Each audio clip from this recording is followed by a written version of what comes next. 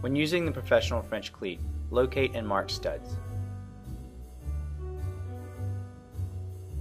With included level, mark both end holes using the wall bracket.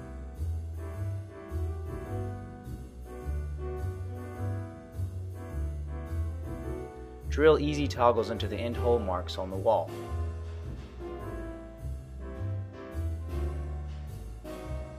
Align the bracket with the anchors and install provided screws.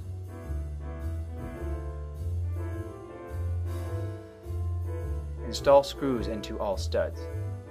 If not pre-installed by manufacturer, use provided screws and a power drill to attach product bracket to the back of your shelf.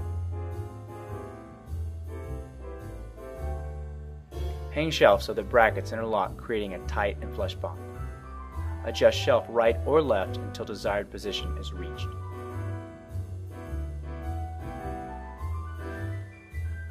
This system can also be used with mirrors utilizing the same installation process.